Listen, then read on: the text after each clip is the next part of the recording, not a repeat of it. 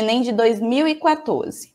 A liberação de gases clorofluorcarbonos, que é o CFC, na atmosfera, pode provocar depressão de ozônio, que é o O3, na estratosfera.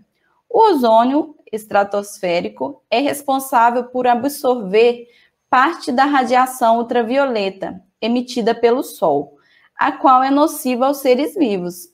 Esse processo na camada de ozônio é ilustrado simplificadamente na figura. Então, tem essa figura aqui, né? Quimicamente, a destruição do ozônio na atmosfera por gases CFCs é decorrência da. Então, olha aqui, ele deu um esquema da reação. E do lado aqui, nós temos a legenda. Então, vamos montar os compostos para ver o que está acontecendo, né? Pela legenda, nós vamos simplesmente olhar aqui, ó, o que que tem. Essa bolinha com tipo uns risquinhos é o carbono. Nós temos dois cloros. Vou colocar só a fórmula molecular. Então, CCl2 e nós temos aqui também dois flúors, certo? Então, esse aqui é o composto, que a ordem é até colocar F2, Cl2, ok?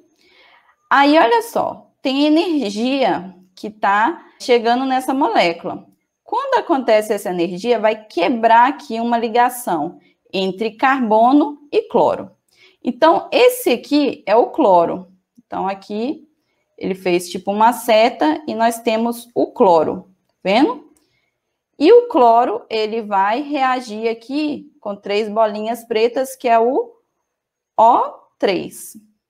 Depois vai virar O2 mais uma de cloro e uma de oxigênio. Então, ClO.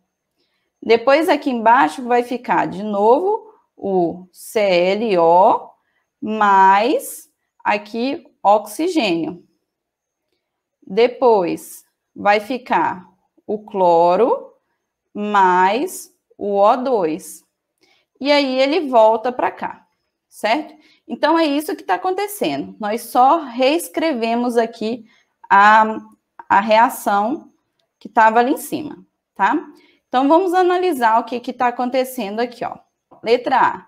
Clivagem da molécula de ozônio pelos CFCs para produzir espécies radicalares?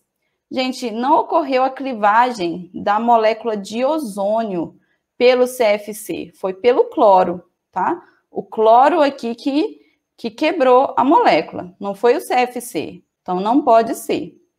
Letra B.